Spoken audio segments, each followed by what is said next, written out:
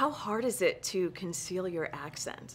Ah, well, uh, there's a lot of work that goes into that. And uh, I'm lucky enough that I'm not in the same position I uh, was in when I first arrived. And when I first arrived, 1997, I was doing Oz. I was petrified that I having to do an American accent in front of Americans and working with Americans. I'm not in that place now.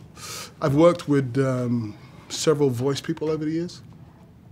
And the first guy was a New York guy who's no longer uh, with us. It was a pity. But right now I work with uh, Tanera, uh, Marshall in Chicago, and she taught me the Chicago accent.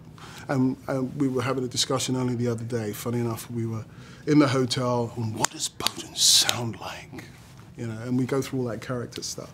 And she got me some tapes of, uh, different chiefs uh, doing their job. And the first voice that we picked up on, and I started doing, I was like, oh God, he sounds white. That's not gonna work. So, and she was like, well, okay, and I'll bring you this other tape. And then we got this black guy, and then we got this. And then suddenly, over the course of time, Boden's voice came and was developed in a hotel room.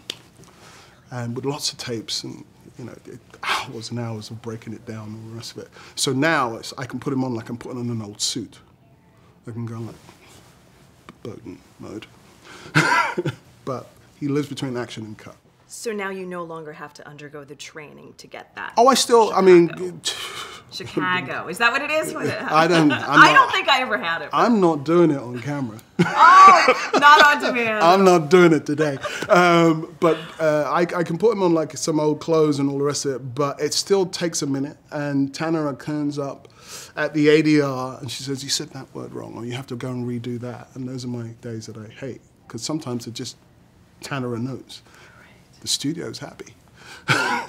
Tanner goes, "No, no, no," and I'm in there for like two, three hours fixing it. But anyway, that's a whole Wednesday. other story. Wolf Wednesday. I Wolf love Wednesday. that. I love that too. You get two extra episodes because of that? Uh, yeah, we all got given uh, extra episodes. There, there was a certain amount. I think we all got 20, and then uh, I think because the Wednesdays have all gone so well, I think they've given us extra. So I'm very, very happy and pleased for everybody on, on so many different levels that it works. It just gives a comfort level that we own Wednesdays, um, and it's just that simple. Now we own Wednesdays, and considering the start when you know you you know you're boxing from from the corner going I'm a show and I want to make my way and I'm going to do this and I'm going to do that and we all pump and we bluster and we do that. but now there's a kind of Right.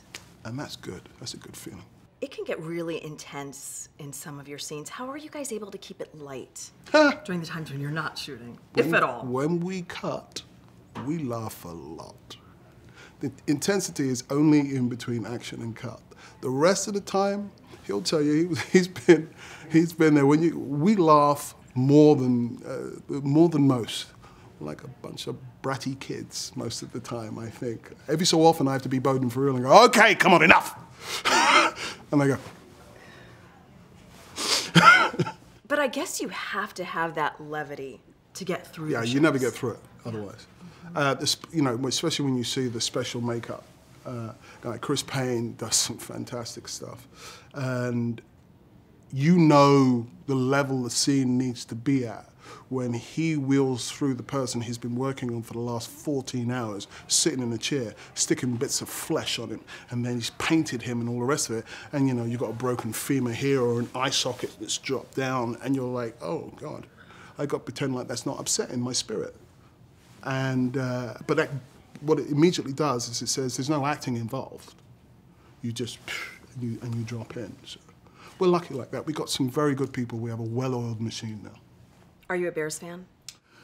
No, Okay. So you weren't I'm a when the Liverpool Eagles... football Okay. So you weren't mad when the Eagles beat No, the Bears in that no, wild card. that- no. Actually, I was I wasn't around for that, but I heard all the people I work with. I heard about the post. I heard what it did. I heard the almighty groan, Spiritual- the double doink, which I just went, "What is that?" And they were like, "Hit the post twice," and they were upset. But um, I'm, I'm a Blackhawks fan. I love the Blackhawks, uh, no matter how they're doing this year. But my real thing is Liverpool Football Club. Of course, yes. Football. Football, yeah. Thank you. Oh, wonderful to meet you. Lovely to meet you.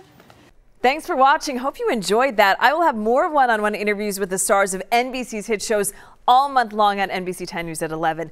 And don't forget to check out these videos over here. And please subscribe to our page by tapping the button below.